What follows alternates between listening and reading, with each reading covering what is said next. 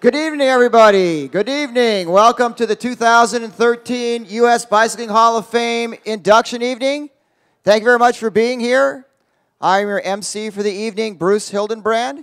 Some of you know me. For those of you who don't know me, I've been covering the sport of bike racing as a journalist for over 35 years. Covered my first international race in 1980. Been to the Tour de France, the Vuelta a España, the Giro d'Italia, and many, many races, the World Championships, of course. Paris-Roubaix, got all my stuff stolen out of the vehicle at Paris-Roubaix. That was always fun. But anyways, just recently at the Tour Azerbaijan. Anybody know where Tour Azerbaijan is? Anybody know where Azerbaijan is? So a great international race to go to. So I'm your MC for the evening. I want to thank you all. Of course, we want to recognize our future inductees tonight. We have a class of four very deserving cyclists and cycling personalities that will be inducting. But how about the people that are here that have already been inducted? Wayne Stetina. Wayne, why don't you raise your hand? George Mount. Where's smiling George Mount? Bob Parsons. Bob? Ted Ernst. Where's Ted? Ted, raise your hand. Toby Henderson. Bernie Anderson. And Jacquie Phelan. So thank you to our inductees. So again, this is a very special evening because the sport of cycling, of course, is near and dear to every one of our hearts.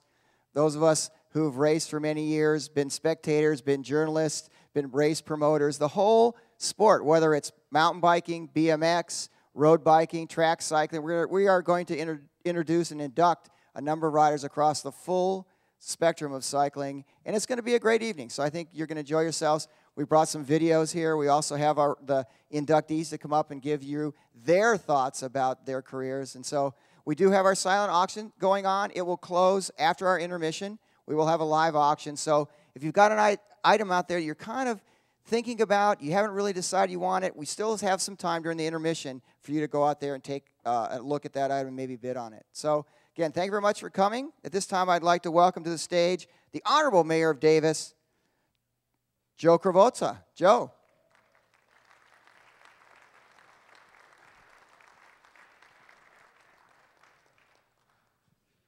Thank you all so much. Uh, delighted to be here again. I think this is the this is the sixth induction ceremony that Davis has uh, been able to uh, to host. Uh, the mayor honors this occasion with a with a tux, uh, of course. Uh, though I do feel, um, you know, just a little bit naked, if you will, up here. I was so excited uh, about a year ago uh, for this dinner that I bought a matching bike bow tie with a bike handkerchief. And then I went on a, a fundraiser for our local media, Access TV, uh, and they promptly uh, began an auction of my bike bow tie and my bike uh, necklace uh, without telling me, and it sold for $300. So when you're the mayor of Davis, uh, I guess your bike bow tie uh, becomes worth something. So I did want to, um, I just did want to say that we're just honored to have the, the hall here. There's no question about that. Uh, the city is delighted to uh, support the hall through our building, uh, through all the work that we do to integrate the hall into really the fabric of Davis. We're always looking for ways at the city to support the hall, and we look forward to that, uh, to that continuing. Uh, my colleagues and I on the city council, and I've got, we've got Lucas Frerichs here tonight for sure. Lucas, welcome. Very good. Any other members of the council here? Make sure I'm uh, politically uh, okay. Uh, but I do want to say just a couple of a couple of things. Um, the um, you know you know the basics about the city of Davis. In 2005, we were named the first platinum level uh, bicycle friendly city in America by the League of American Bicyclists. Uh, we, we thought that that was good enough, but then they created a category above platinum called diamond, uh, and now we have to aspire to diamond. Therefore, our new bike plan is called Beyond Platinum. So here we go. Everybody in this room should be getting excited about 2017. Uh, 2017 will, first of all, be the 50th anniversary of the first bike lanes in America that, of course, uh, were created in Davis, California right? And then it's also the 200th anniversary of the invention of the bicycle in 1817, at least that's the date we're using, and it's the 100th anniversary of the city of Davis in uh, 2017. So some, uh, someone said, you know, that's coincidence. That's not coincidence. It's destiny, it's providence. You're in the right place. Davis is in the right place. So thank you. So you know the, the you know uh, the the facts: 11 square miles, 100 miles of combined uh, bike uh, bike paths. Uh, we have a 20% mode share here in Davis, California, on bikes. The next closest city is uh, Boulder at 9.9% mode share. Uh, that's a cry for help, but we're going to do all we can to help Boulder out to to get where they need to be. in our new bike plan, we're going to aspire to a 30% mode share.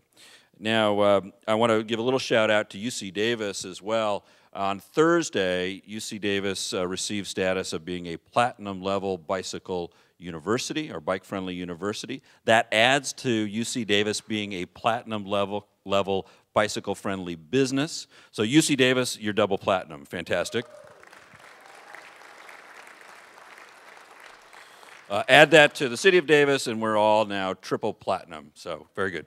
Young people don't know what double platinum and triple platinum means. We do. Um, uh, but I want to kind of just reflect very, very briefly um, that we here uh, are not just part of a city movement or a state movement. We're all part of a, of a national movement. We're all part of this expanding bike culture uh, that we're seeing uh, literally race across the United States of America. We're seeing uh, bike share, you know, thriving in uh, Washington D.C., in San Francisco, uh, in New York. You're seeing cities like New York uh, doing what every city does, which is say, how can we be more like Davis, California, right? So, um, but but but how does that happen? I mean, it happens because we've got this fantastic constellation of of road racers and manufacturers and recreational riders and BMXers. Uh, we've got advocates, uh, trade associations. Uh, we've got um, we've got you know we've got the bike share coming along. We've got safe routes to schools programs going national. Uh, we've got Bikes Belong, we've got the League of American Bicyclists in Davis, we've got the Hall of Fame, we have our bike co-op, we have, uh, we have our local bike group, Davis Bicycles. All of this comes together. And one of the things I wanted to, uh, to observe is that we started a little campaign uh, in Davis this year uh, with these stickers, and everybody's got one at their place. And it says, Start seeing bikes uh, everywhere, Davis, California. And as we think about expanding the bike culture in America, I want us to think about seeing bikes everywhere. And at first, I thought this was just about safety. So you say, uh, in the name of safety, start seeing bikes everywhere, okay? But let's say uh, to get kids to school uh, with parents not having to drive, start seeing bikes uh, everywhere, right? To promote uh, health and recreation, start seeing bikes everywhere, all right? To promote more social interaction, it's gonna it's gonna be louder. It's gonna be more succinct and so on. To, uh, you got to get your congressman, uh, like we've gotten ours, John Garamendi and formerly Mike Thompson, to join the Congressional Bike Caucus so that they start. All right, to reduce uh, congestion for those who drive. All right, to lower greenhouse gas emissions so that we stabilize the uh, atmosphere of the planet. All right, to help cities save money on infrastructure. Okay, to build livable communities. All right, and tell your elected officials, state, local, and federal, to. All right, very good. Welcome, everybody. Congratulations to the inductees, and I'm looking forward to a wonderful evening with all of you. Thank you, Mr. Mayor. How many Aggies are out there in the crowd? Who went to UC Davis? I'm raising my hand. How many Aggies out there? All right. Great to have you all here. Too bad Freeborn Hall looks like they're going to seismically retrofit it or something. They don't know what they're going to do about it. But at this time, I'd like to welcome to the podium the head of the board of directors of the U.S. Bicycling Hall of Fame, Mr. Anthony Costello.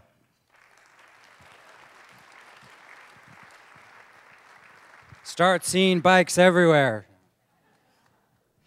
It's always hor- it's horrible to follow Joe Krovoza. Everyone in town knows that. You don't. You want to go before Joe not after Joe. So I'm, I'm in the unfortunate position of having to follow him, but I'm going to do my best here. So um, thanks for the introduction, Bruce. Um, I'm Anthony Costello. I'm the president of the board of directors for the Hall. Uh, on behalf of the board, many, many of who are here tonight, uh, I'd like to thank you for being here. Um, this is our 27th induction ceremony, sixth here in, in town, but the 27th uh, Hall of Fame induction ceremony uh, since the Hall was founded in the 80s. Um, we, we always have three main goals for this event, and I just want to touch briefly on those. Uh, first and foremost, these lead tables here in front are full of our special inductees for this year. Uh, it's a special night for them Doris, Beth, Mike, and Vince. Um, always very difficult to summarize the kind of careers these people have, have, have had in just one short evening. Uh, but we hope that you all leave here tonight feeling as though you've been recognized for the truly amazing accomplishments of your career. So let's give them a, a round of applause, please.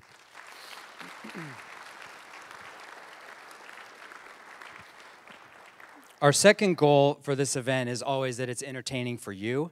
Um, we expect that tonight you'll be reminded about a lot of things you already knew about these athletes and, and contributors and their careers. We also expect that you'll learn a lot of new things that you probably didn't know. We try to focus on videos and speeches and stories so that the audience can really feel like they got to know the inductees, and hopefully you get to know a little bit more about what we're doing at the Hall of Fame in the process. Um, in the audience tonight, we're joined by many friends and family members of the inductees, also by members of the board of directors and many strong supporters of the Hall of Fame. From Davis, from the Sacramento region, California in general, and, and uh, many that have traveled across states to be here as well.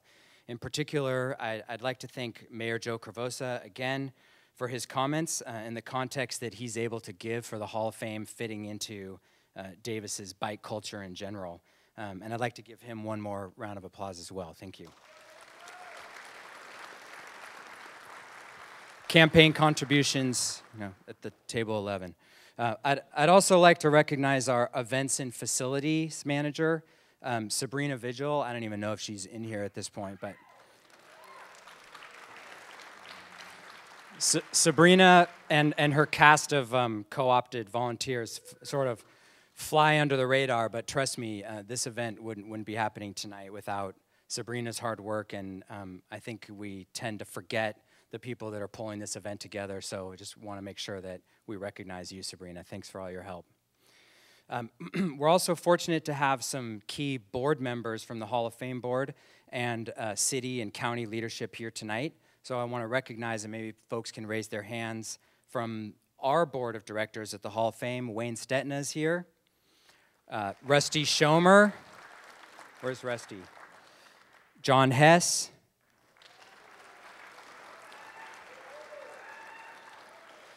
Brody Hamilton. Bob Bowen is here, of course. We have DK. Matt Dulcich. There's Matt. And George Mount is here as well. I'd also like to recognize David Takemoto Weerts for a moment. He's not officially on the board, but as anyone who's had a tour at the Hall of Fame knows, David is the master of all things U.S. Bicycling Hall of Fame, and nobody does a tour like David. So if you need one, you, you better book him soon.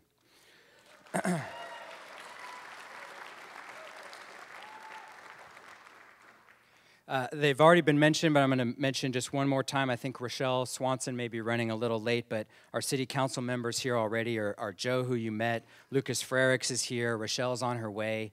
Um, these board members for the Hall of Fame and these government leaders have formed a very strong partnership the last few years to support the Hall of Fame's success here in Davis.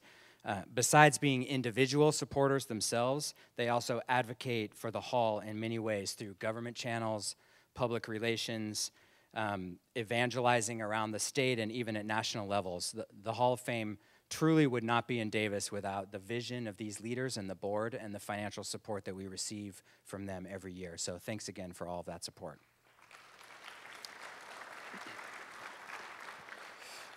So, speaking of financial support, I'm going to close out here with the third important goal we always have for this induction ceremony, and, and that is to make this a successful fundraiser for the Hall of Fame.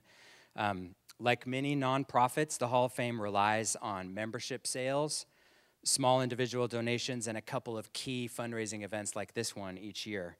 Uh, tonight, we've got a lot of great auction items, and, and we're going to be encouraging, I think Bruce will be encouraging you frequently tonight to bid um, often and, and, and liberally. Uh, our event sponsors are also critical to making this event possible. I think we have a slide up for them, but uh, I'd like to just take a moment to, name them. These individuals and groups have come forward to financially support this event and also to make donations to this event without which we, we probably would not be able to afford to host this dinner every, every year. So uh, I'd like to mention them. Uh, Track is our key sponsor. We also are sponsored by UC Davis, the Clif Family Winery, New Belgium Brewing Company, Davis Media Access, who's responsible for all the video production you see tonight, the printer, the Davis Hallmark Inn, who makes generous contributions every year to help house the inductees that come into town and their friends and family, uh, Strelitzia Flowers, Primal Wear, and the Progressive Marketing Dynamics Group. Thank you very much to all of those sponsors.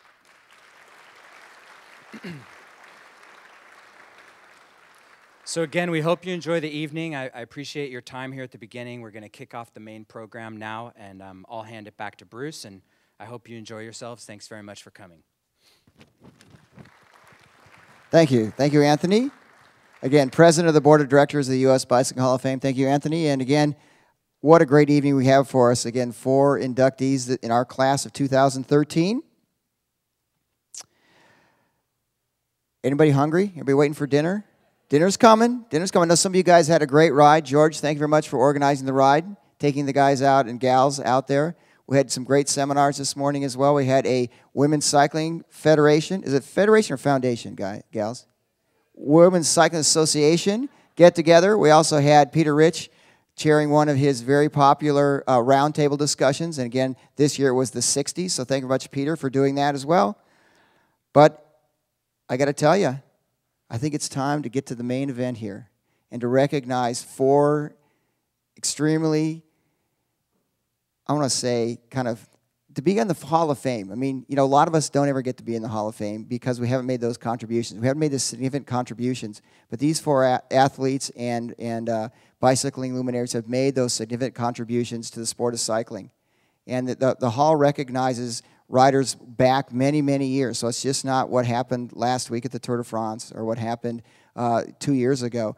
We're recognizing athletes and bicycling personalities who have been here, part of our uh, cycling for many, many, many years. And so it's really great, and I, I think uh, we should really recommend that we all embrace this. We have a nomination process, so if there's an athlete or a personality in the cycling industry that you think uh, you know, uh, is, is, is someone who should be recognized. There is a nomination process as well. So, without further ado, we'd like to welcome our first Hall of Fame inductee. And we're going to play video first, and then we'll have them come up and uh, give their acceptance speech. But we'd like to welcome our first inductee, Doris Travani Mulligan.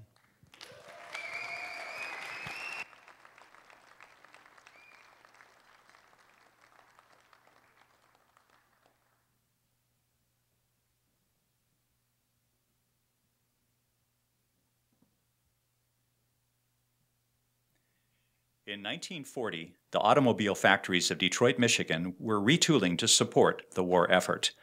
The U.S. National Amateur Bicycling Championships were held in Detroit in 1940, and Mildred Kugler won the Women's Bicycling Championship, and her brother Furman won the men's. They did not know it at the time, but another family living in Detroit in 1940 set its sights on following in the Kuglers' cycling legacy. Doris Travani was 11 years old in 1940, and she was born into a family with a deep cycling history. Her father, Alfred Travani, was the national cycling champion of Italy in 1920.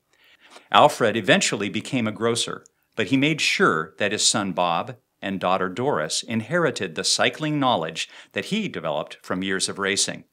Doris started bicycling at the age of 12, and with her father as a coach, and her brother as a training partner, she quickly became a successful racer.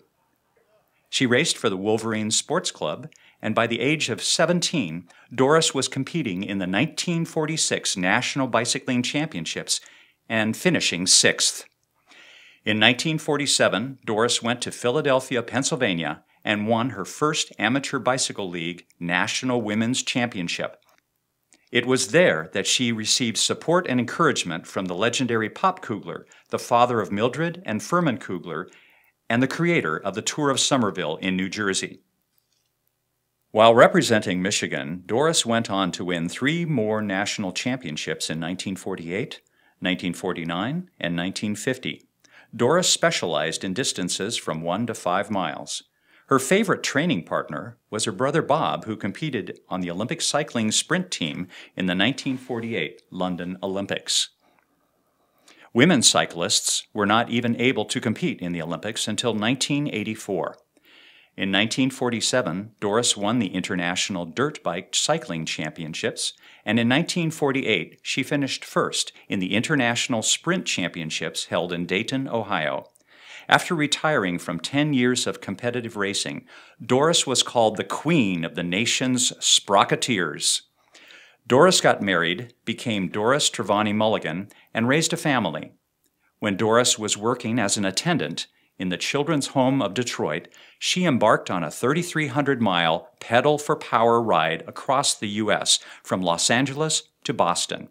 She was 60 years old at the time, and the children who she cared for encouraged her by crying out, Doris, you can do it! Doris competed in five national cycling championships and in two international championships. She was the first and only woman to this day to win four consecutive national cycling championships. Doris was inducted into the Michigan Amateur Sports Hall of Fame in 1974 the cycling world can now say, Doris, you did it.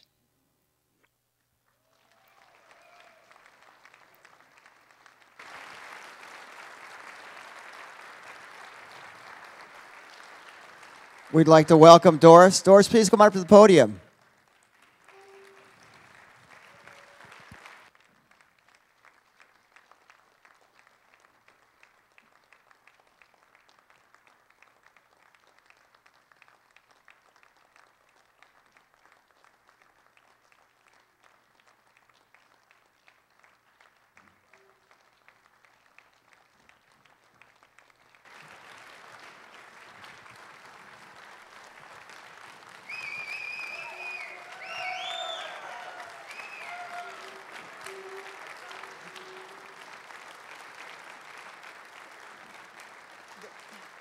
They said everything I wanted to say on that film there, but can, oh, here, this way, I, see, I'm not familiar with this.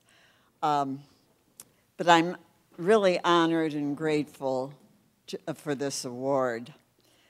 And I'm so proud to be here in this, this huge world of cycling. I've seen a few people, I've seen a few people that I know, and some that I don't. Um, it's been over 60 years since my last race. Um, I'm still riding a bike, but I kind of really slow down a lot. I belong to two bike club. I belong to two bike clubs in Michigan, the Wolverines and the uh, the Clinton River Riders. And uh, when they, uh, in, you know, I do what I can to help them with their bike projects. When they built the uh, velodrome in uh, Rochester, uh, Michigan, uh, they gave me the assignment of painting all the steel posts and, and the railings, which I gladly did, but that's my way of contributing to the cycling. Um, I have uh, many people to thank for my success, but they've all passed on. I'm uh, first and foremost was my father. He was a bike rider in Italy, and he came to America. He got married, and he raised two kids. He started Bob off, my brother, uh, with a bike, and then later on me. And um, uh, let's see, I'm not good at this, you know. Uh, my, my dad uh, provided everything. He provided the bicycles, the equipment, uh, the repairs, the trips that we took. And if it wasn't for my dad, I, I probably wouldn't be here today. So thanks, Dad, wherever you are. And then, of course, next was my brother. Um, he and I did a lot of training together. And um, uh, he was, of course, he was an excellent cyclist. I guess you saw in the video that he, he um, was on the 48 Olympics in London, and uh, he qualified for the Pan American Games, but he's passed on too.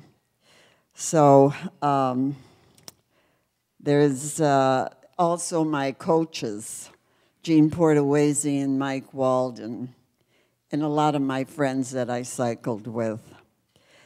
Um, so anyway,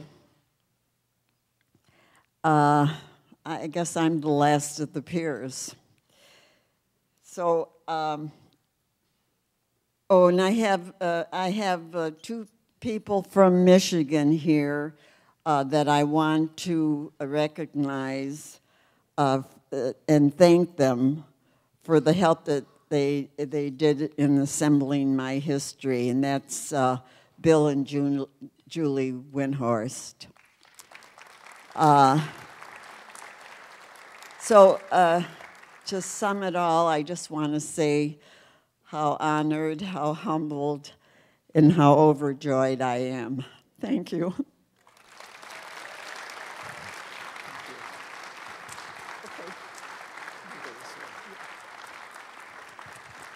So thank you very much, Doris. Still the only female to win four consecutive national championships on a bike. Congratulations, Doris.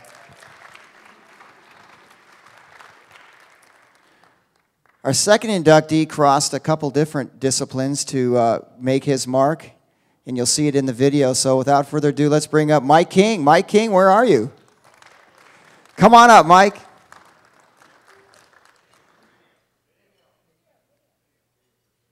We got the video.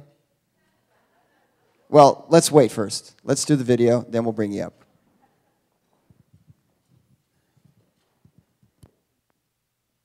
Out in the lead. King making a move. He's got it on the inside. Where's Charlie Townsend? Back there in that fifth spot. He's in trouble. The number one title moving away. Mikey King doing a little wing flap over the doubles. He's got the lead and the win in the second round of the pro main events.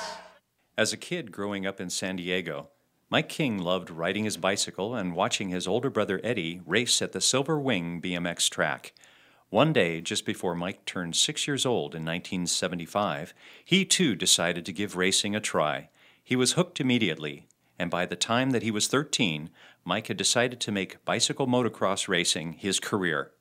Mike dominated age group races, and when he was 15, he became the American Bicycle Association's number one amateur in 1984. King turned professional in December of 1987 as an 18 year old and he won numerous awards and titles, including the 1987 Supercross World Pro Am Champion and the 1988 ABA National Number One Pro. After his first professional season, Mike was named BMX Action's Rookie of the Year for 1988. Some even started calling him by a nickname, The Snake. He won the National Bicycle League A Pro Grand National Championships in 1989 King was also the 1994 and 1995 ABA Pro Cruiser Grand National Champion.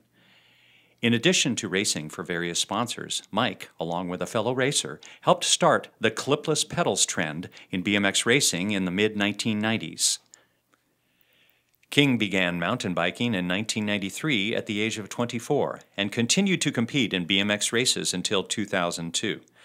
Mike then raced mountain bikes exclusively until 2006 when he retired from competition.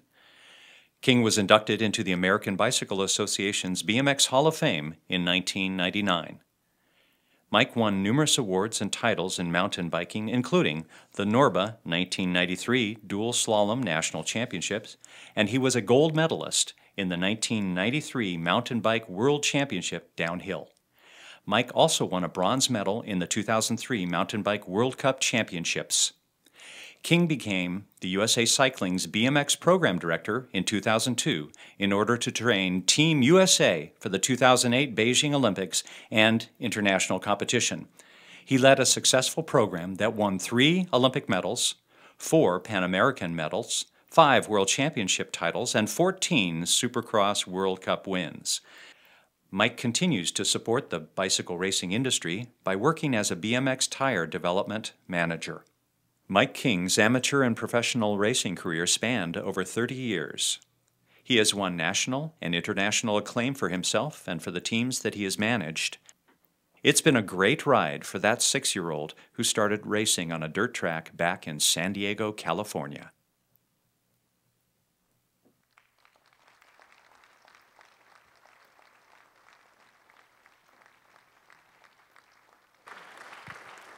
Now let's bring up Mike King to the stage. Congratulations, Mike.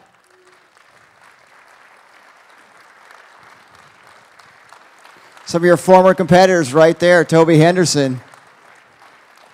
You got to give him a shout out. Thanks, Mike.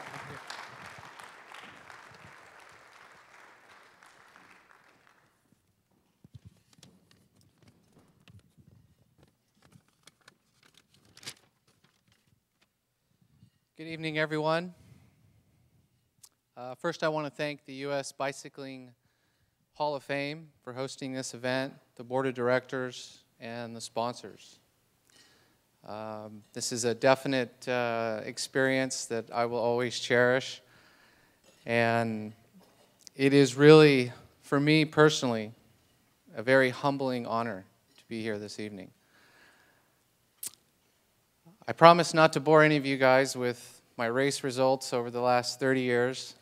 Um, that's why we have this, uh, this uh, manual or of sorts for, for everyone to read. But I do want to recognize some people that aren't with us this evening.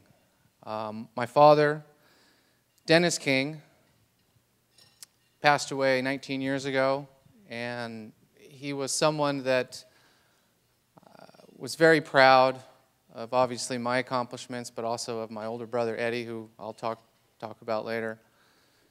But I know he's here with us this evening, and um, I know, uh, like I said, he, he would be very proud to, to be here this evening, and, and um, I miss him dearly. And he was a big part of, of who I am today. So, Dad, I know you're here, so cheers and Thank you.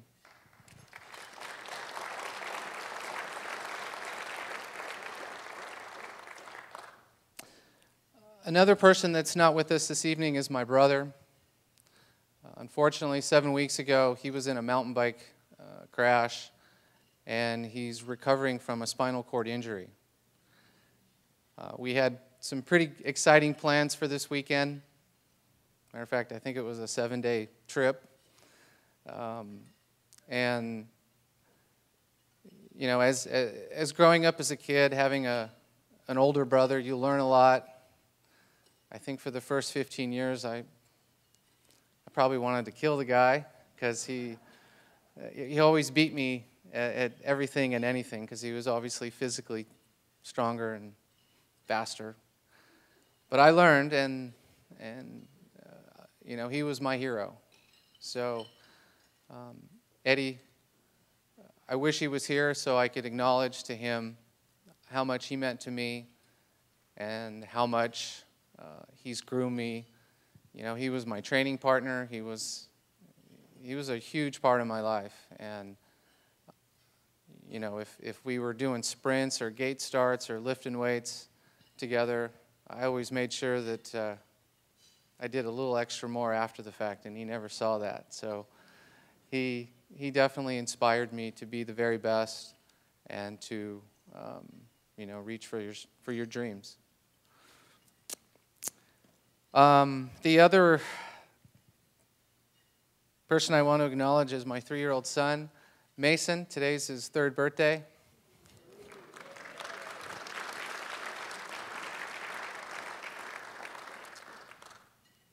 My family noticed that uh, he looks just like my dad, so again, um, I wish he could be here this evening with my daughter, but uh, I'm afraid they'd be a, a, bit out of control running around. So um, I promise to take him back up here in the near future to show him uh, some of the artifacts that I'll, that I'll have displayed.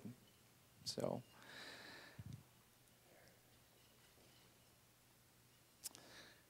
So, based on the career, I want to definitely thank some people that meant a lot to me in the bicycle industry. Uh, Bob Haro was one of the pioneers and one of the godfathers of BMX freestyle. And he was one of the first guys that, that took me on board as a BMX racer. And I got a, a monthly salary out of that at the age of 18. So um, I guess my real job went into effect in 1988. And I want to thank Bob for providing me that opportunity to travel the world and to, um, you know, sell more, more bikes in some ways. So thank you, Bob. Um, Harry Larry was another individual that meant a lot to me. He gave me an opportunity to cross over into mountain bike racing.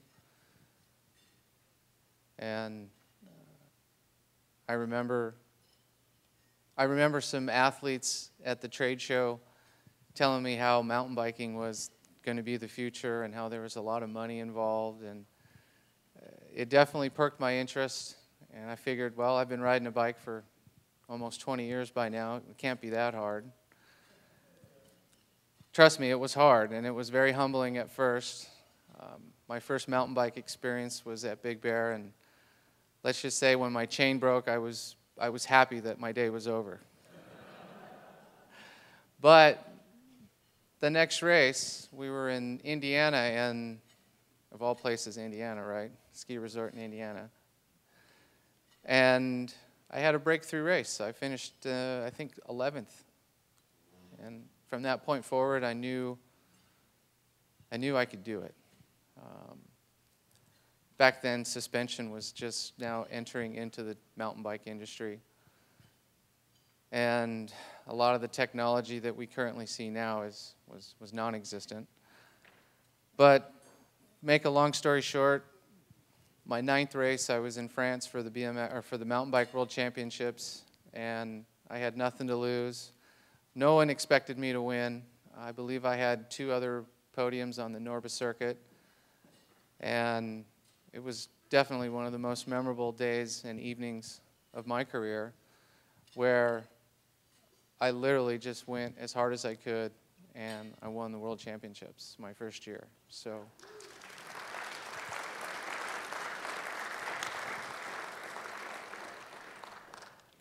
Yeah, that is something that will stick with me to this day. It was my ninth mountain bike race, and I won the big one. So, uh, the other people that I want to quickly acknowledge um, Rich Long, GT Bicycles and Doug Martin. He was the team director of our mountain bike program. After I won the world championships, um, they provided me with uh, probably the biggest contract that I'd ever signed at that time. And I was part of the super team with uh, Juli Furtado, Rishi Grewal, Andre. Um, I really felt like I had made it, and it was uh, just an unreal experience. Uh, fortunately, Richard Long passed away in 1996, as some of you may or may not know. Uh, Richard was a big part of um, my success with GT, and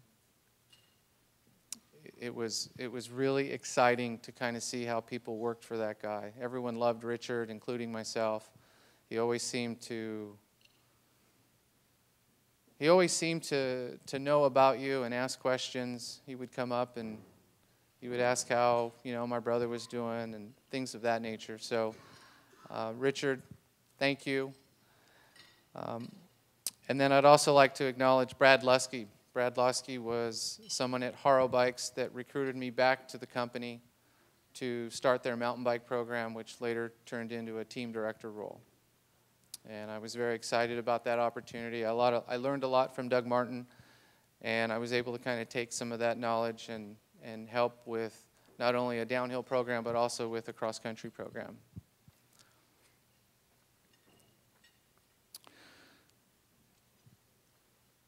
I want to acknowledge my mom who's here, Mama King.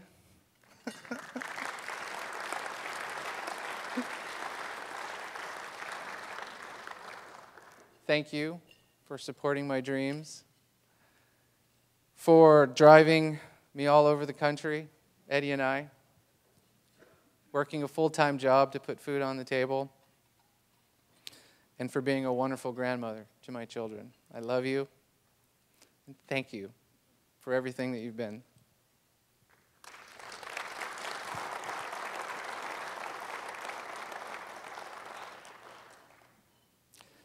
And lastly, I want to acknowledge my beautiful wife, Carrie. She missed out on those golden years, as I like to say. But perhaps it was for the best because I was very focused and driven. And she's been through this transition from professional athlete to I guess, business professional.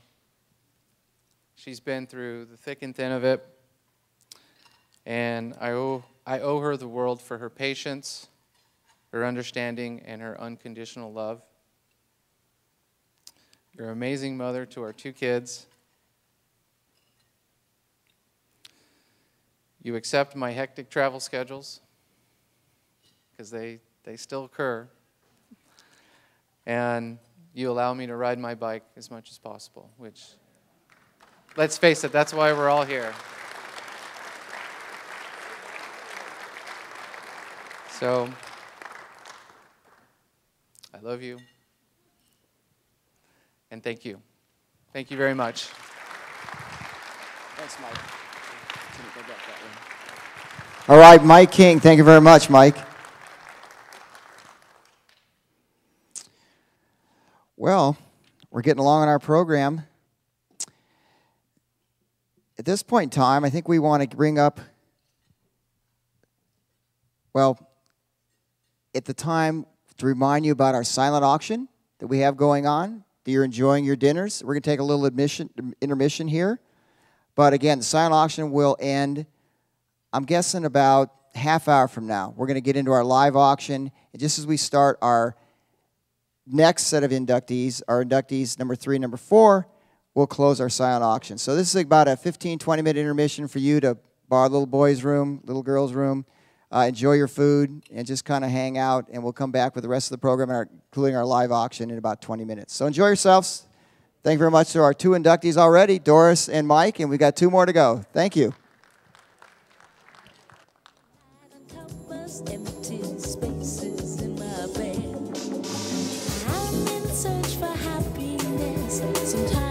Blind to see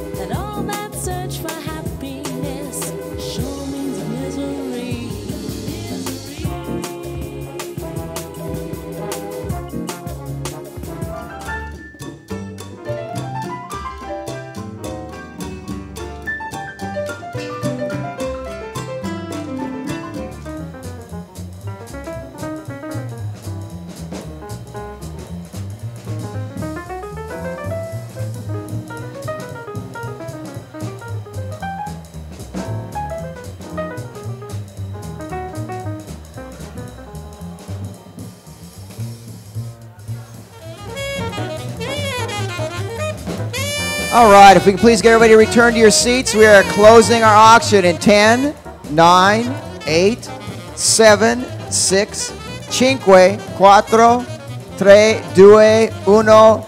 Okay, come on back to your seats now. We are closing the, the uh, silent auction, so please come back. We'll begin the second half of our program.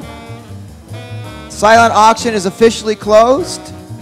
So come on back and find your seats, and let's get in the second half of our program because we have two other very deserving inductees into the U.S. Bicycling Hall of Fame, and we want to bring them up on stage as well. So, if everyone could please find their seats.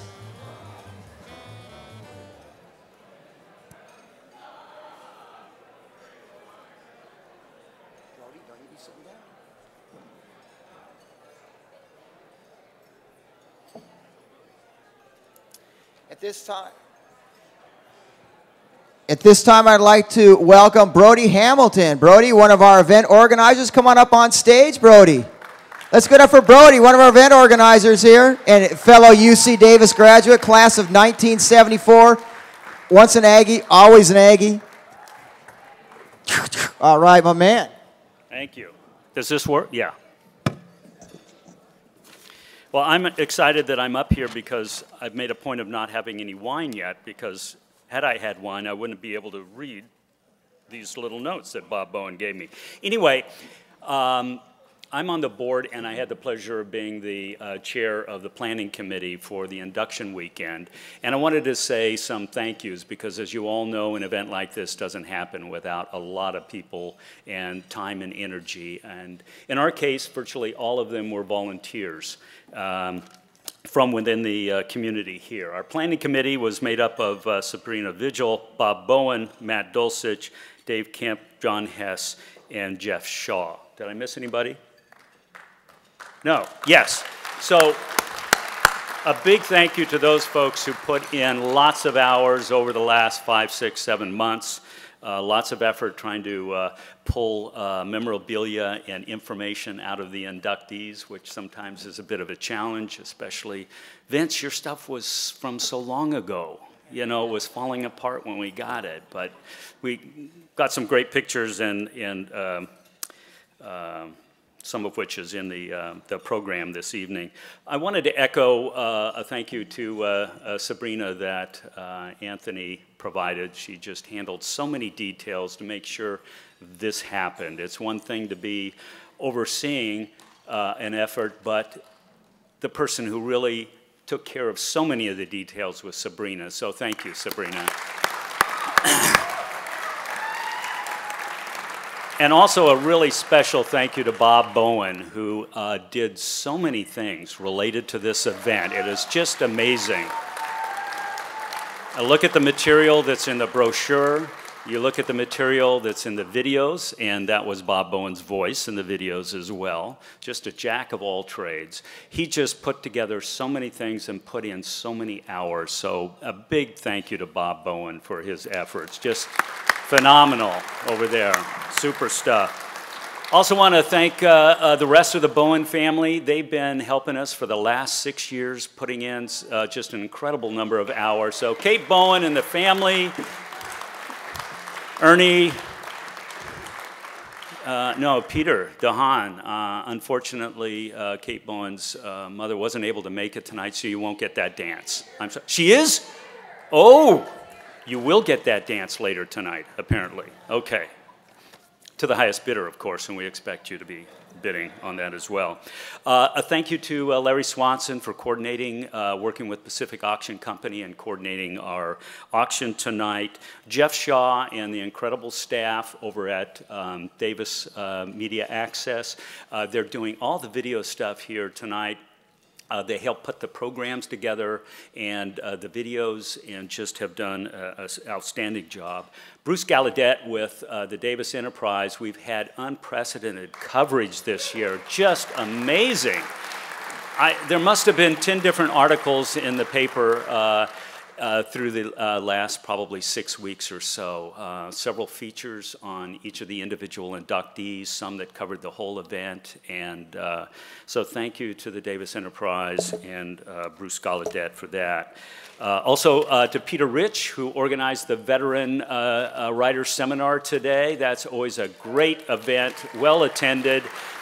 It gives us a great opportunity to um, uh, record information from some wonderful uh, historic figures in the world of cycling, and it's uh, sort of an ongoing effort for uh, uh, oral history efforts. So uh, thank you to Peter for that. John Hess for coordinating our VIP reception last night, pulled off really well. And George Mount for leading the ride to Winters today. George, Hopefully you didn't get too, uh, too winded on that.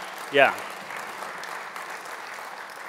Uh, a couple others. Uh, one is Bill Rowe. Uh, he uh, brought over his uh, photographic expertise to help record some things.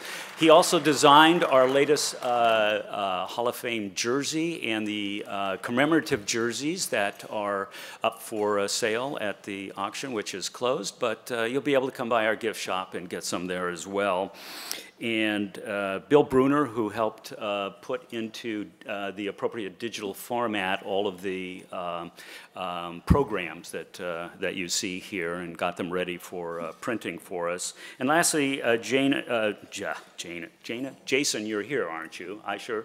Um, for setting up the forum that we had today, the, the Women's Cycling Association. Yeah, you got that? All right. So, and that was, uh, that was a great seminar at the Hall of Fame today. So, um, with that, thank you to the Freeborn staff. Thank you to the caterers. Uh, wonderful event. And uh, on to the next session. Bye bye.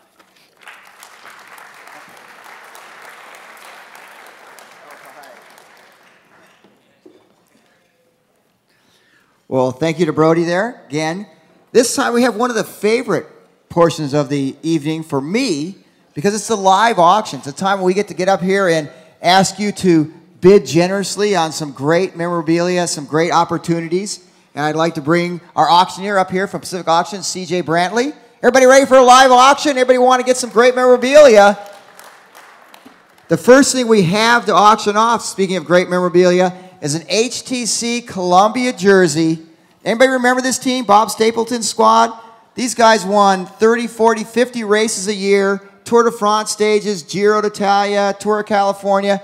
This jersey is signed by most of the team, including Tejay Van Garderen, winner of the Tour of California this year and the USA Pro Challenge, Mark Cavendish, the Manxman, before he switched teams, Andre Greipel has won about five or six stages of Tour de France lately, and many, many more of the members of the HTC Columbia team. So, team disbanded in 2010 they are no longer here, so this definitely is a piece of unforgettable memorabilia. CJ, take it away. Thanks, Bruce. I appreciate that. All right, folks, you heard what it is here. If you haven't been to an auction, it's real simple. I'm going to talk real fast. I need to see a hand nice and high in the air if you want to help us raise some money, okay? Right here on the first item is the HTC Columbia jersey. What do you say right here? Would anybody like to open the bidding? Let's say $700. Anybody want to go 700? I'm bid seven player, take it at $700 and a seven player bid it at $700 and a bid it at seven player 700. I'm bid $700 and a bid it at seven player, take it at 700 now, seven now. Anybody want to go 700? 700? It's okay, folks. Just like uh, we had in our silent auction, this item does have a minimum bid. Would anybody in the room like to bid at our minimum bid on this item of $500. You couldn't cover the framing and the mat work. Hand stitch that jersey has to be stitched into that mat to get the lines right. It's a very, very nice item, very well framed. Hands in the air, help us make some money at $500.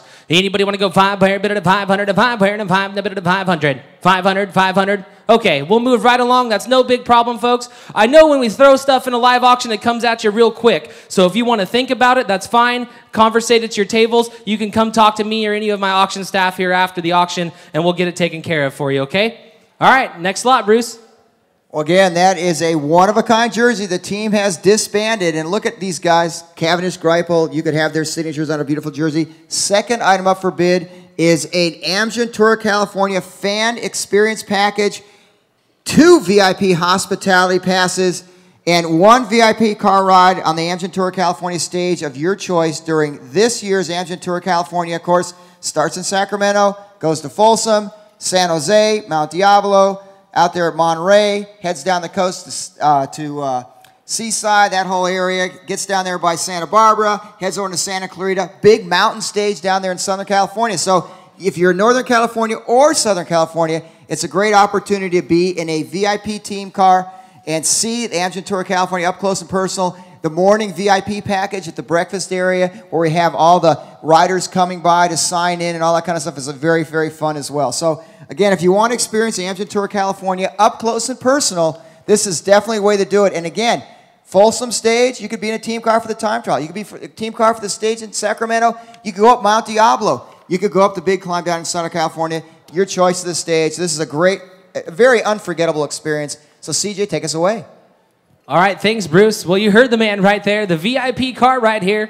What do you say, folks? Let's have some fun. How about $100? Anybody like to bid 100 to go? 100 now one one 25 bucks how about 25 bucks someone's got to do 25 25 bid now 50 now to give 75 sir $50 and I want 75 now to give $100 to one bid at one now your turn on one bid now quarter I bid $100 now quarter down quarter down 125 and a quarter dollar bid at a quarter dollar done 125 25 25 to the where now quarter I bid 100 and a one quarter dollar down one dollar bid at a quarter down 125 now to give a quarter dollar one and a quarter now you got to be half here 150 your man's out here one and a half one and a quarter bid now to give half a dollar down 150 Anybody else want in at 150? I have 125 in the back, 150 to go, sir. Thank you, ma'am, at 150. Now to give 75. She says, take that, buddy. 150, and I want 75 now. 150, now to give 75, 75, 75, 75 to the where now, 75 to the bid, 5 to the where now, 5. I'm bid one and a half. What'd you do? 160? 160 bid. Now 70, ma'am. It's like checkers. Your move here, 160 and a 170. I'm bid 160. Now to give $70 now, 170 now, 170. Gotta go here. It's an auction now, 170 bid. Now to give $80 now, 180. 170 and a $180 now, take it at 80, 180 now, 170 and a 180 now, 90.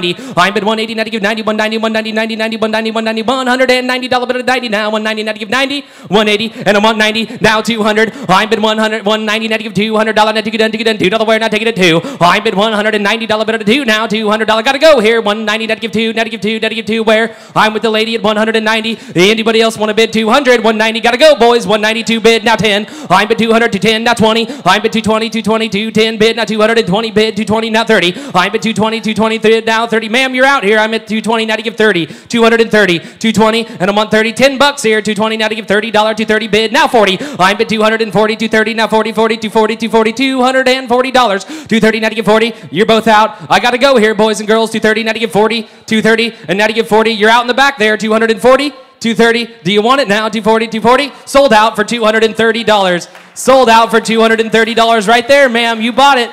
Thank you very much. We sure do appreciate it.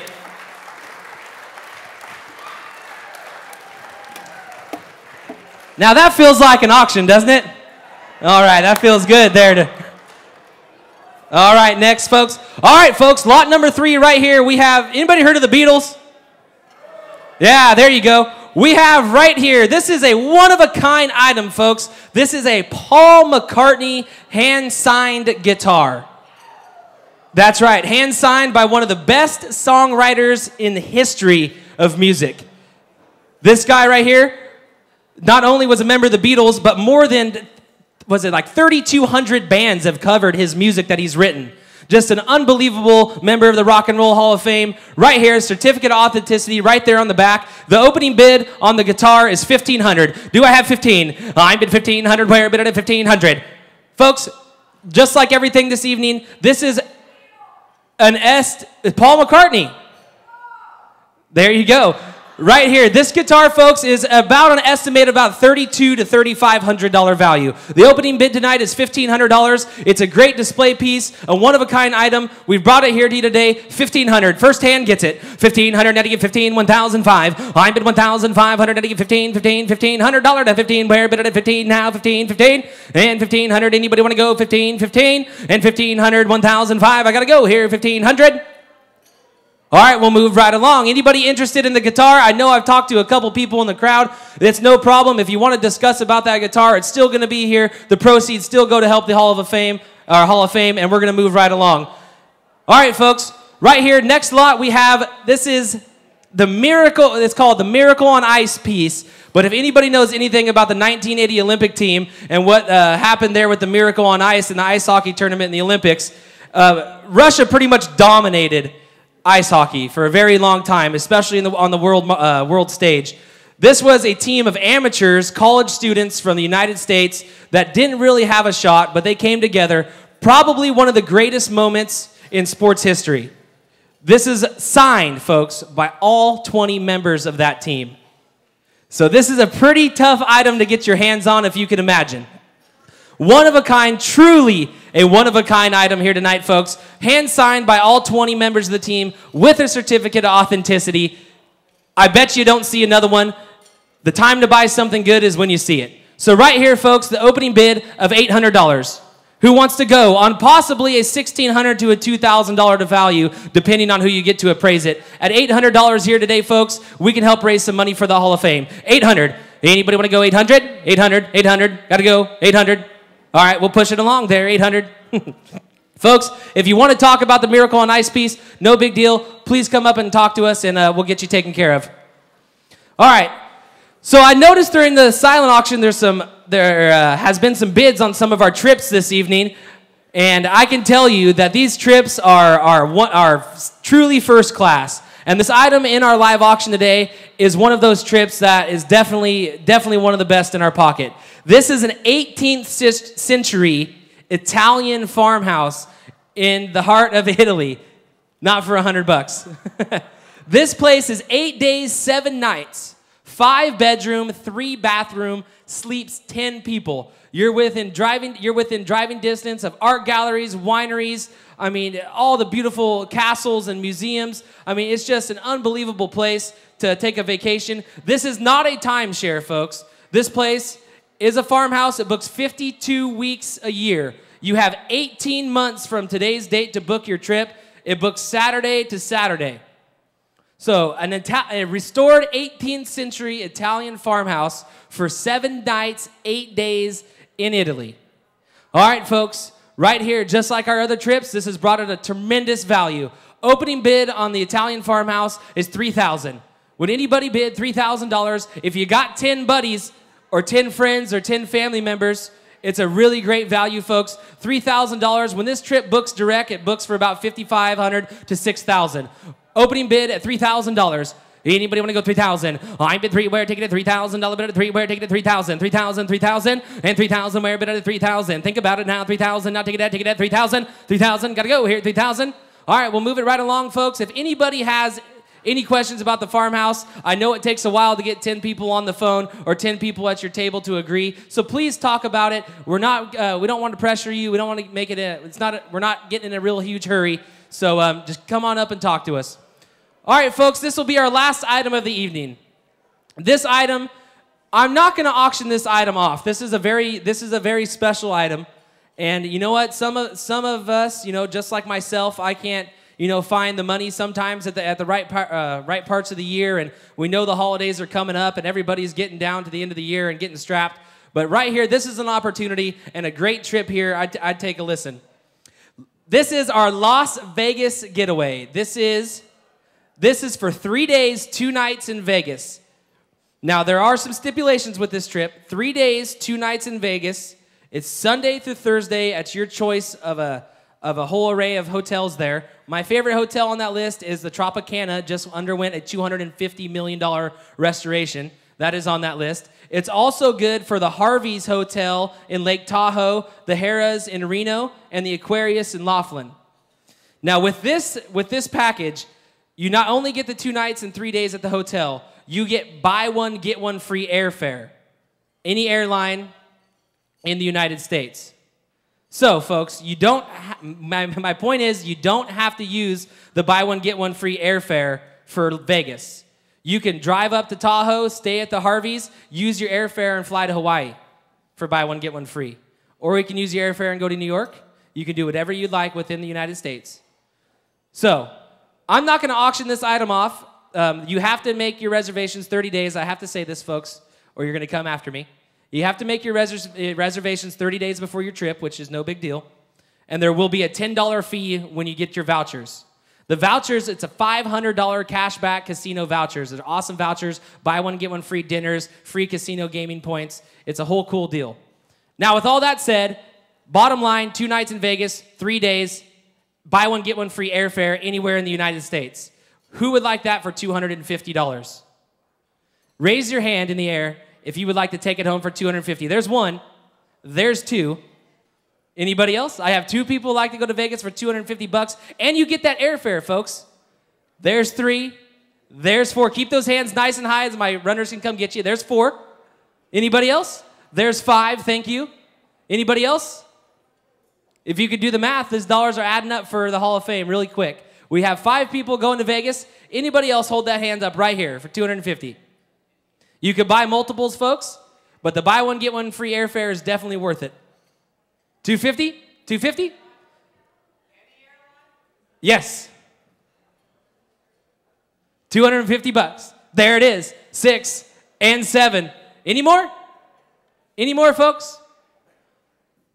All right, well, that's it for me. I want to say thank you very much. If I would ask everybody who just bought the Vegas trip, please put your hands in the air. Keep them up there till one of my guys comes and sees you. Once he, they come and see you, please put your hand down. But I want to say thank you so much for bidding. Any of the items in the auction that didn't get a bid in the silent as well as the live, you can come up and more than um, we're more than welcome to give us the minimum bid. And um, auction checkout's going to be right in the main entrance. So whenever we're done here this evening, and you bought some, if you bought something in the silent, we'll have it alphabetized by last name, and come on up and see us. So that's it for me. Thank you guys. I hope I stayed within the program's uh, limits. But thanks, Bruce. Thank you from Pacific Auction, CJ Brantley. Thank you very much, CJ. So I'm not supposed to tell too many stories this evening, but I got to tell you a story about restoring an 18th century Italian farmhouse. Does anybody remember the first American to ever win the Giro d'Italia, Andy Hampsten? Well, Andy bought an 18th century farmhouse in Italy, called me up and said, Hey, can you come help me restore the thing?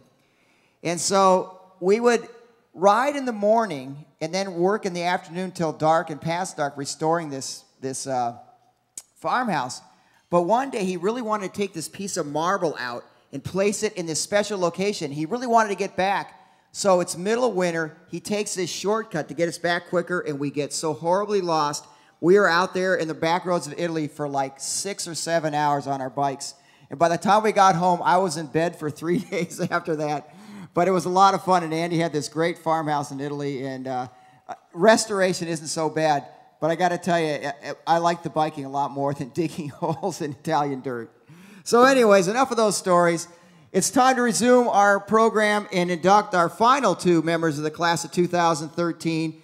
At this time, it gives me great pleasure to introduce our third inductee, Beth Heiden Reed, a world champion in three different sports.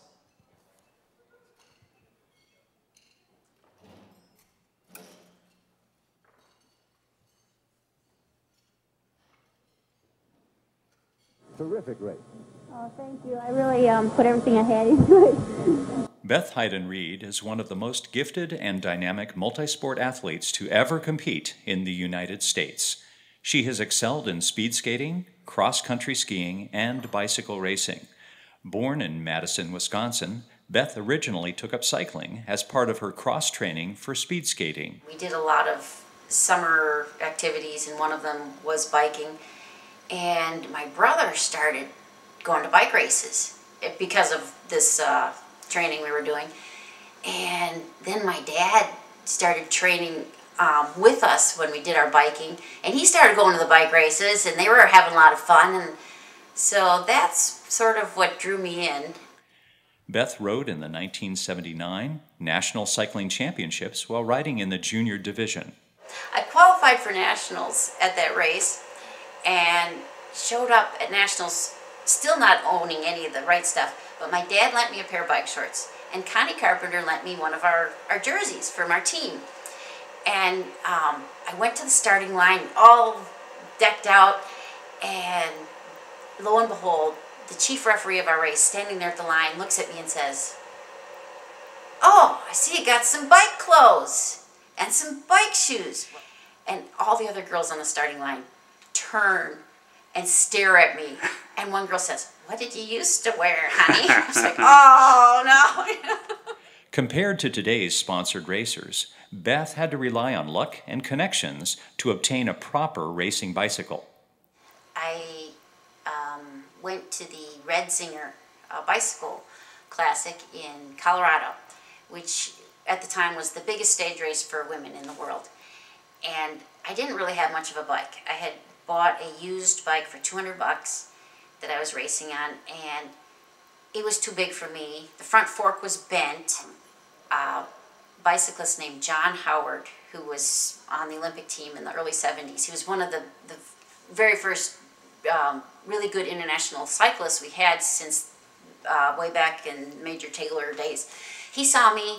He was working with Exxon, and they were making the very first graphite bikes. And he said, say, I, I can give you a frame. Would you like that? And I was like, oh my gosh. And then when I rode in the World Championships in 1980 in France, on our team was Miji Reoch, who was really the mother of competitive cycling and in this country.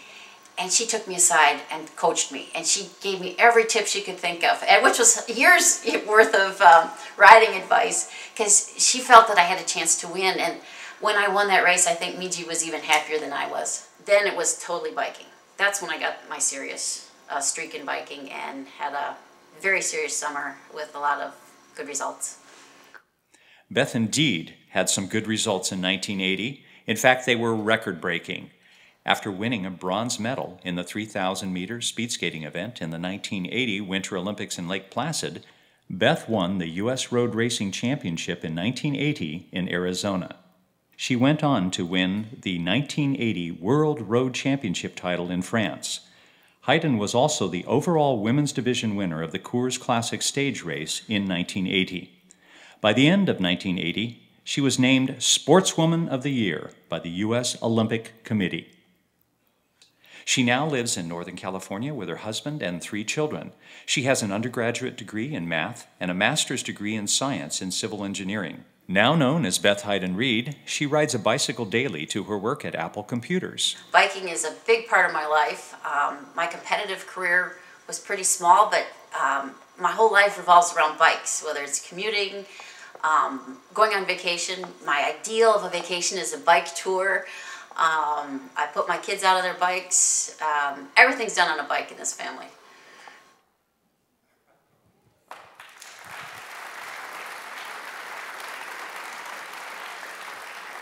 I'd now like to welcome to the podium Beth Heiden Reed.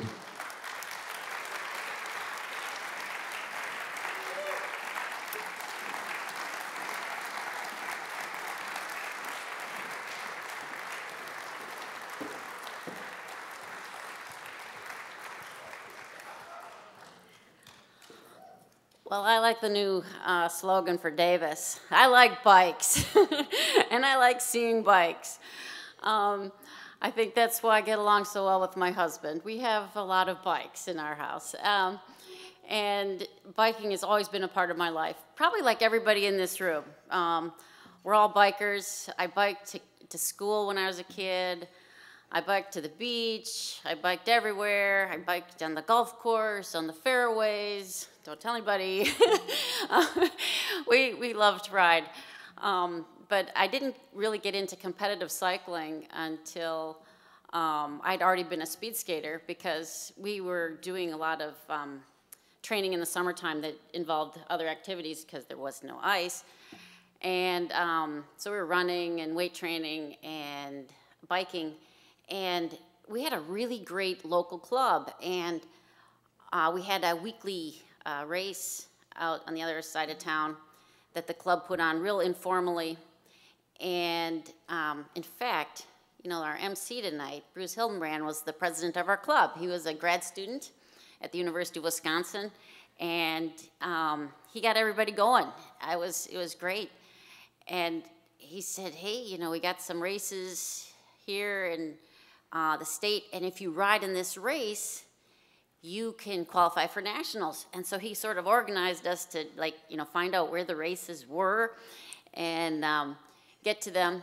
And uh, I, I did ride some races in the state of Wisconsin where I lived. And it started out with some, um, the races were always held with the men.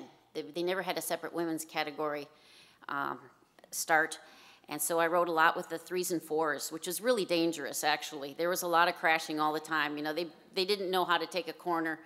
Um, and, uh, the problem was, you know, these guys were pretty strong because they were men, but they didn't have the technical skills. And um, it, it, was a little risky. But um, fortunately, Bruce steered me toward the state championships, where, which was just a women's race. And um, I went there and I won it and qualified to go to nationals. And um, that was a pretty big deal. It was way out in Washington. But um, I had been running into problems going to these threes and fours races because they were official USSA sanctioned races. And I showed up in my blue cycling shorts. My mother had made me some shorts.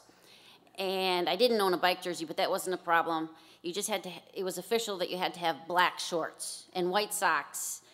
And um, I was running afoul of the rules. And the um, technical delegate said, hey, you know, you got to get some uh, black shorts so you can't race next time. And I showed up at the next race and he said, uh, the blue shorts got to go. This is the second call. Third time, you're not starting. And I was like, oh boy. So the third race was going to be um, all the way out in Seattle, actually. And so I borrowed my dad's bike shorts, which were black. They didn't fit, but they were black. And um, I had been wearing, I didn't really own a pair of bike shoes, but I had a pair of tennis shoes that had an extra insole um, glued on the bottom near the, the sole of my foot. And then my dad took a file and made a slit in it. So it worked with those old toe straps. You know, the, the pedal would fit right in that slit, and then the toe strap would go over the top. Worked pretty well. Um, but I didn't, um, I didn't have a jersey to ride at nationals. So Connie Carpenter, who was also from Madison on our team, um, said, "Well, here you can borrow mine because it fit better than my dad's."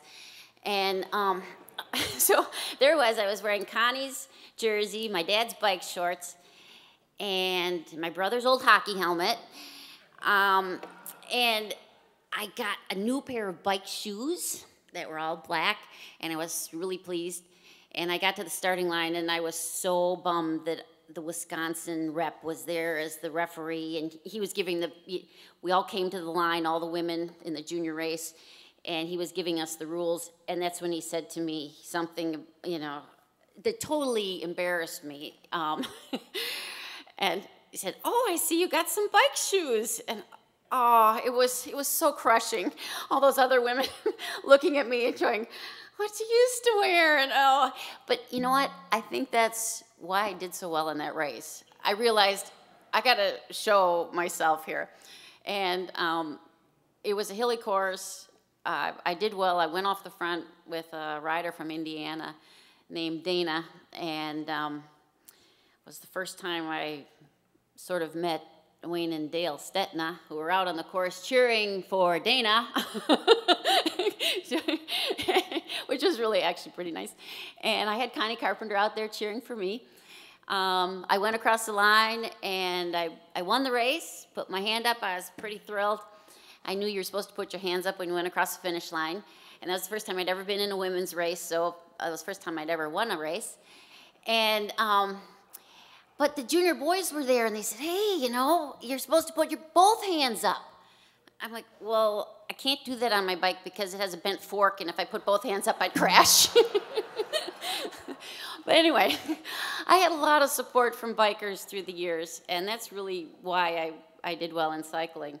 Um, you know, the following year was when John Howard showed up with a bike frame for me in Boulder, Colorado, just before the start of the um, Red Zinger uh, stage race. And uh, of course, this frame didn't come with any components on it, but uh, one of the, um, uh, the mechanics for the U.S. men's cycling team, Bill Woodall, said, hey, sweet pea, I can put it together for you. And was, this guy with his southern drawl said he would do this, and I was like, wow, this is awesome. But he's a real talker. He, he would I would go to uh, see how my bike was doing, and he would just talk and talk, and my bike wasn't getting put together. And I'm like, Bill, come on. But he'd say, Don't worry about it, sweet pea. It's going to be fine. but he got it together before the night before the race, rode on it. Everything was good, of course, because he did it.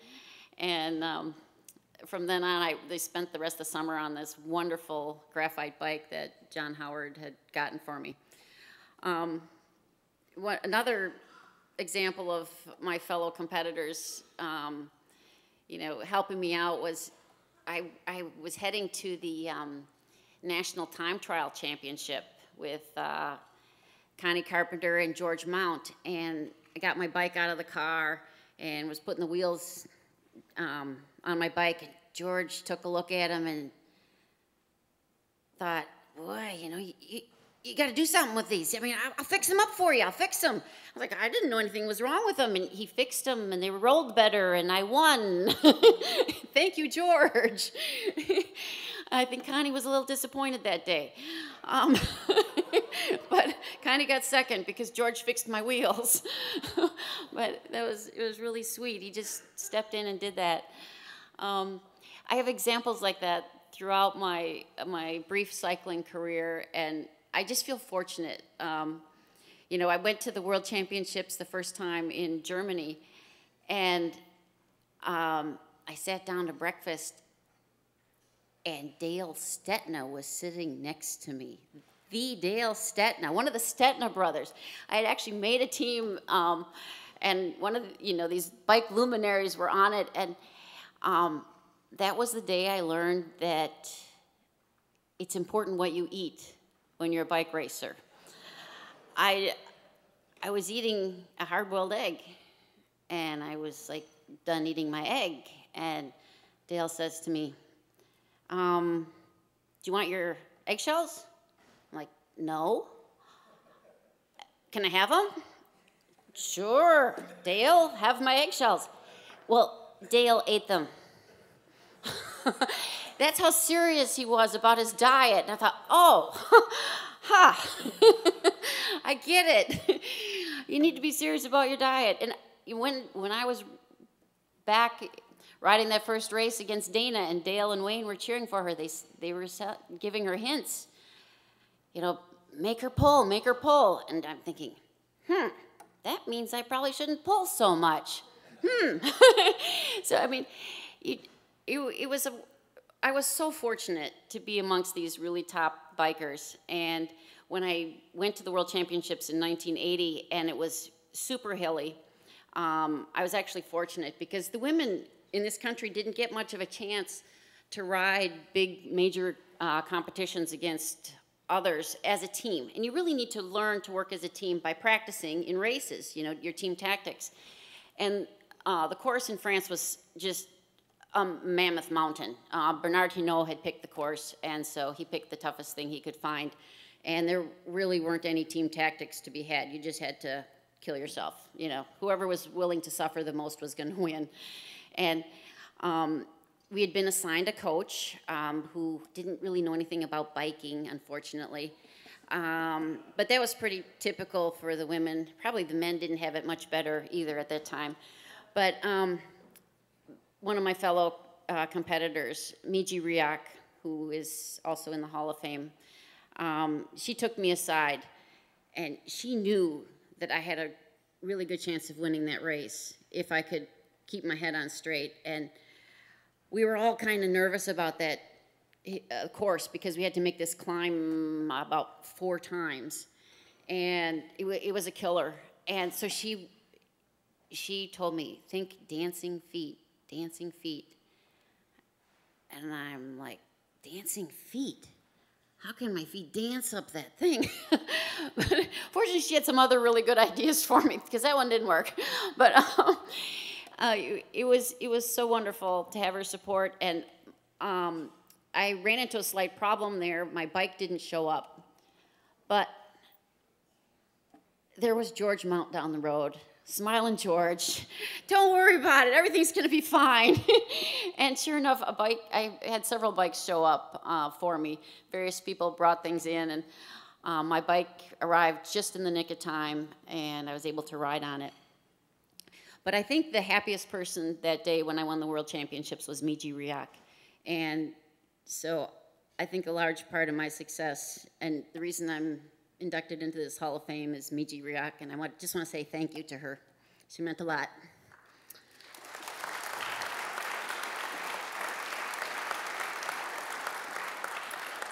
And I'm really honored to be here today, and I love biking, and I love Davis for that reason, and thank you.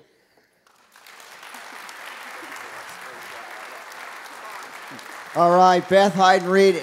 I, I got to tell you a story about her winning the Worlds because I don't remember Wide World of Sports. Remember every Saturday they had Wide World of Sports. When Beth won, they decided they were going to put that on Wide World of Sports. So they flew Beth to New York with Chris Schenkel doing the commentary. So they had this clip of Beth winning the World Championships, and the clip comes on TV, and there's Beth in this four-rider breakaway. So there's Beth and three other women. Beth's taking her pull at the front, and Chris Schenkel, who knows nothing about cycling, comes on and says, "All right, Beth, that looks really good. You're right there in the front, leading the race." Well, Beth gets done taking her pull and starts to drop back. You know, when you drop back, if you're done taking your pull, you're just kind of taking it easy. Chris Schenkel's like, Beth, now, you're in second place. Beth, now you're in third place. Beth, now you're in fourth. How did you ever win the race? And Beth kind of looks at Chris and says, Well, that's something we call drafting or working in a pace line. So here's Beth explaining to Chris Schenkel on Wide World of Sports all about, you know, how the bicycling tactics work. And Chris was incredulous that she would just give up first place like that. And how did she win the race? But it was a great victory in France in 1980, and she's a very well-deserving world champion. So thank you much for Beth Heiden-Reed.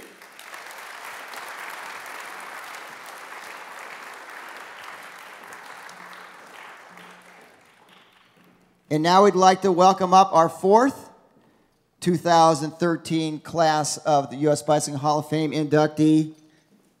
We got a video for him. He's been called the Renaissance Man of Cycling, Vince Menci.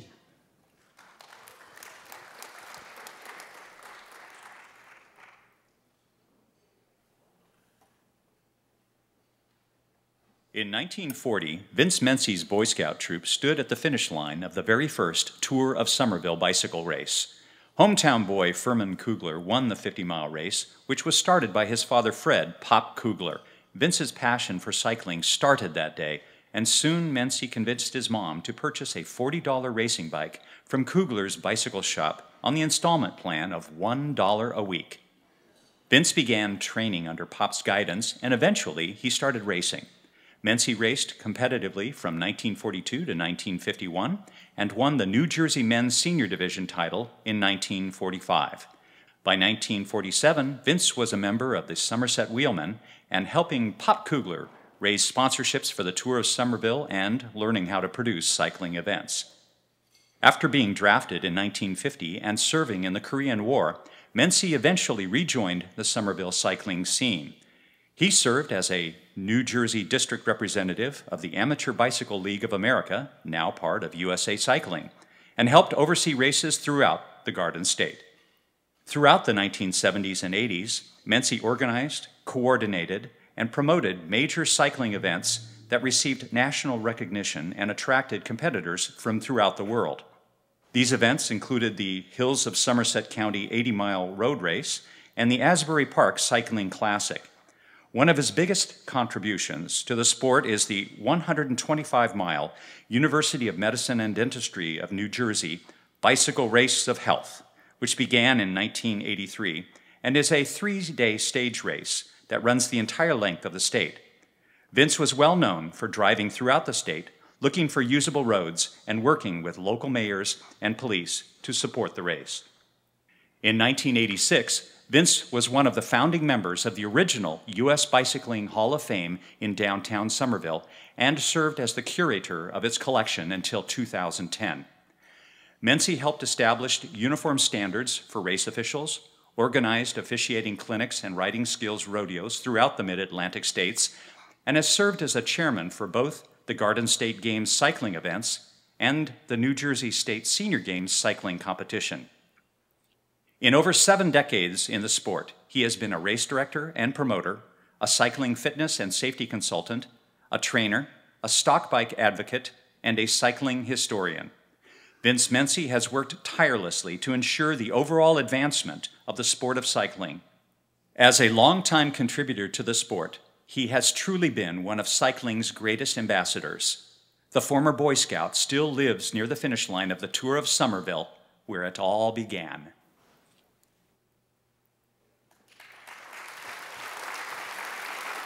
And now we'd like to welcome Vince Menci.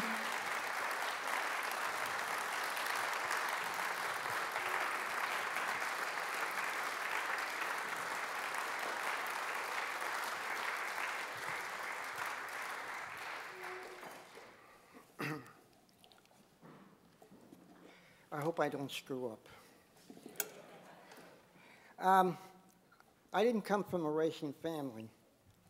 Um, and my, my experience with the cycling community was when uh, Pop Kugler ran the Tour Summit the first, the first two, two years, and I was, I was Boy Scout. I was holding the crowd back. After, after that happened, uh, I used to pass Pop Kugler's bike shop uh, on the way to school, and there was a bicycle there for $39.95 uh, because I, I saw that bicycle in, in the window and I wanted my mom to buy it. So I got her down there, and she put a little down payment, and she paid a dollar a week after that. I used to go into Pop Kugler's store and sit down on a stool and listen to him tell me about the six-day races, about Frank Kramer, Alf Goullet, all those people. And, and I got the privilege of meeting Alf Goullet in New York City by uh, a fellow named uh, Black.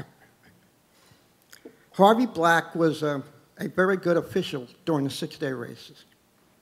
So when I was in New York um, the, at the, one of the races that the New York clubs were putting on, I got the privilege of meeting uh, uh, Alf Goullet. He was 80 some years old. He lived to be 101. Uh, but he, when I met him, he was so sharp, uh, and he really knew what cycling was all about. And I walked away very, very impressed by this man that was 80 some years old. I'm 86. And uh, that passion for cycling has been right there. I ran, I was privileged to, to win one of the, to run one of the finest three-day stage race in New Jersey, and that was the, the uh, stage race of the uh, University of Medicine and Dentistry.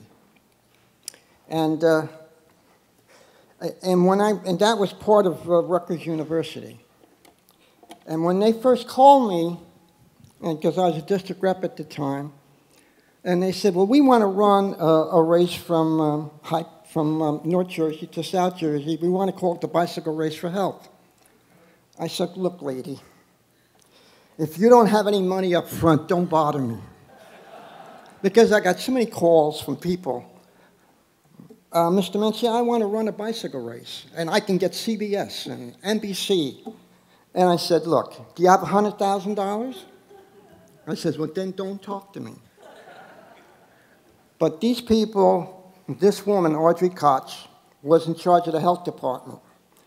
And uh, one of her uh, uh, employees went to London and saw the milk race in London, which is still run. And uh, when he, she came back, she talked to, to uh, Mrs. Koch, and Mrs. Koch was going to get, uh, she was going to serve a, a, for having 25 years with the, with the health department at, the, at the university. And they, they gave her $25,000. So when they told me that 25,000 was involved, I says, okay, I'll come down and see you. So I called Mike Fraysse, who was then the vice president of the, he's one of the youngest vice president of the Amateur Bicycle League of America.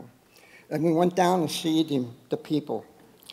And after we got done talking to them, I, I, I walked out with Mike. I says, Mike, this is going to be a big one. We hit the jackpot. And he started laughing. So I went about and I organized three different stages.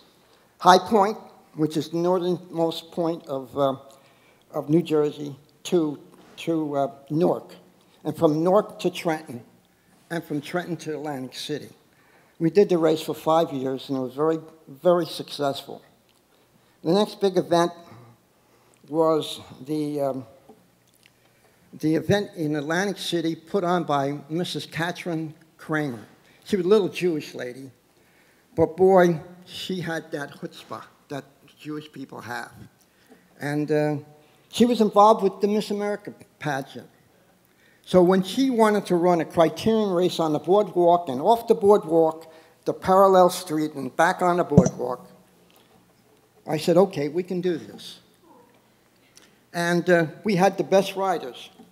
She took Miss America, at that time, the, the previous winner of Miss America, she went to Europe and, uh, and, and talked to all of the different uh, team managers at the, at the major races. And uh, then when she came back, we ran the race in September. And that was, after, that was before the World Championship, and uh, I mean after the World Championship. And uh, it was very successful. The next race that she ran was the Mohawk Carpet Race. The Mohawk, Mo Mohawk Carpet Company laid down the Mohawk rug on the boardwalk, and uh, put us, and they showed us uh, a finish line, and so the race was 50 miles, and we went around it, uh, I guess about 40 sometimes, and and then after the race was over. Uh, I then was watching TV, and all of a sudden, uh, the a, commercial come on with Mohawk Mohawk carpet, and here they showed the bike riders riding across the Mohawk carpet and saying, "See, all these bike riders riding across the uh, the, the carpet, and it's still great." And it was a big commercial. It was great.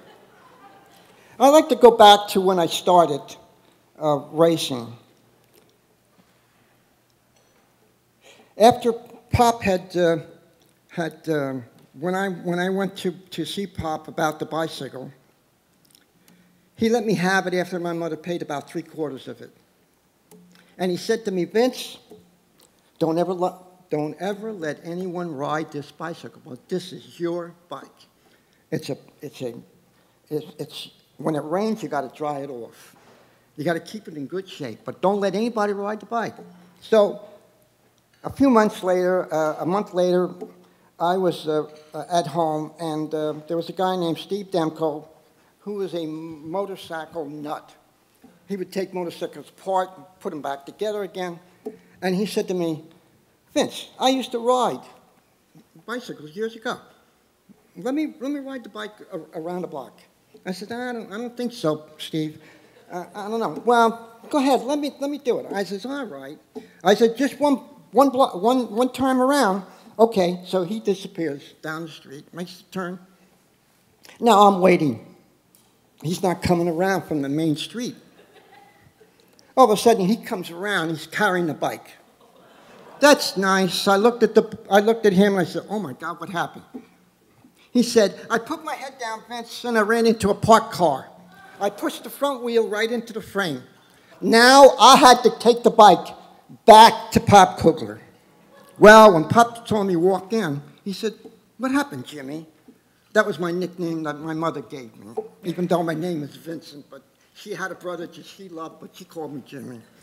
Anyway, Pop says, takes the bike and puts it on a, on a, on a on different, on, on a stack of bikes that he had there. And he said, when I get time, I'll look, I'll, I'll look for it. Now I went out, I sat on the front uh, uh, curb, and he was in the store, and I started crying because that bike meant everything to me. So he happened to come out, and he saw me on the curb, and he said, ah, come on in here, kid. So I walked back in. He took the fork out, he straightened it out, because he was a machinist by trade. He took, he took the fork and fixed it up, put it back in the bike. He said, what did you learn? I said, never let anybody ride my bike again. I never did. I never let anybody touch my bike or ride my bike. Pop Kugler. Sorry, you good? Okay. Is, is it all right? Okay. I'm going to take some time, please. anyway, uh, Pop called me one Christmas. And he said, uh, Jimmy, come on down to my house. We're, we're, we're going to have a little Christmas get together. Okay, so I went down there. And he said, Here's your present. And he gives me a Drysdale that was made just for me. It was a white Drysdale with blue trim. Oh my God. I said, Pop, this is, this is great. He said, come on, we'll go to the shop, put a couple wheels on, throw a handlebars on it, and let you go out and ride. So I went out on my Christmas bike because of Pop Kugler, because he was like my second father. Like I said, my family wasn't, wasn't involved with cycling. My dad said, when you get to be 15, 16, get a job and you work. So he threatened to break my bike one time because I was riding after school. But somehow my mother stopped him. And then when I started winning some races or, or placing in the top three, and people where he worked would go up to him, Hey, Mr. Menci, I hear your, you, you, your son had gotten second or third or what. then my father says, well, it's not bad. He's, he's pretty good. He's not, not a bad rider. So he never touched my bike. He never stopped me from going out and training, and that's what I did. Uh, over the years, over the years, my passion was uh, promoting big events. And uh, then, and I got together, and, and, and when I worked with the uh, Hall of Fame as a volunteer, and when the whole thing first started, um, it was in a, a small building, and it was only a block and a half away from where I lived. And I used to go over there every day, and, uh, and I used to, to, to take all these material and jot it down and make a record of it. Most of the Hall of Fame material came from Pop Brennan, who had a bicycle shop in Irvington. Pop Brennan was also a famous mechanic for six-day races. So when the riders fell or they broke a wheel or what, he would repair it. All the top riders in the world came, when they came to New York to ride the six-day races, they all have, went to Pop Brennan to make his, the wheels for them because he made them really strong and stiff. Because when he hit the bank, they would, they would still hold up. And, uh, and one time, after, after the war, they, uh, there was a six-day race they held at the 69th Street Armory in New York. And Pop said to me, uh, look, before the races start, they're going to have some amateur races. Vince, I want you to ride it. I, I said, Pop, I never rode on the bank track before. And he said, well, come on, this first time, let's go. So I got on the, on, on the track. I tried it out a couple of times. And when I hit the, the bank, it was like the pressure behind my, my back pushing me through the, through the bank track. That, that's because it was so steep, and we just went around. Now the race started. Now, a lot of the guys in, the, in that race was Jackie Heid and, and, and, and a couple lot of kids from, from, from Buffalo where they had tracks. So when they came around, all of a sudden they're slowing up on, on the bank. And I'm saying, oh my God, I'm in trouble.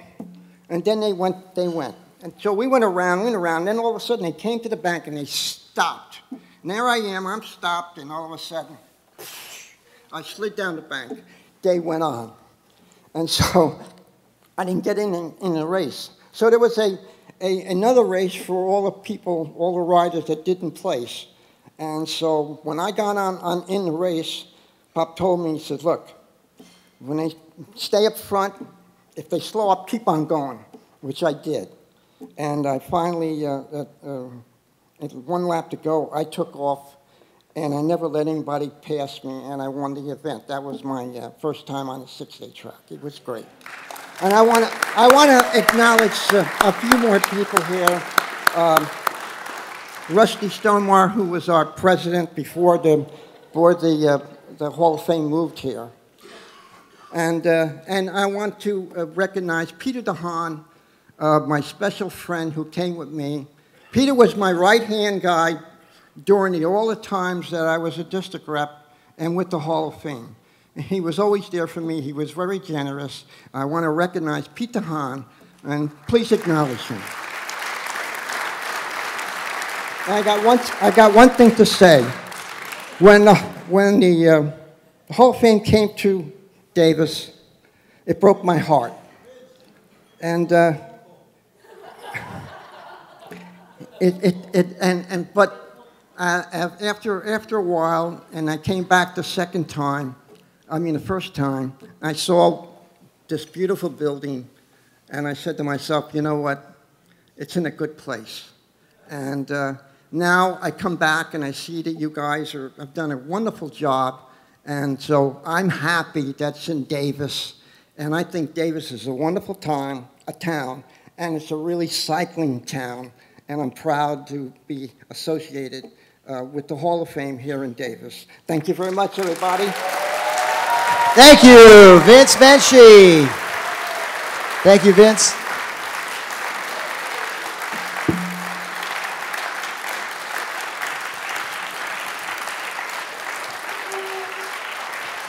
All right, so a couple more administrative items.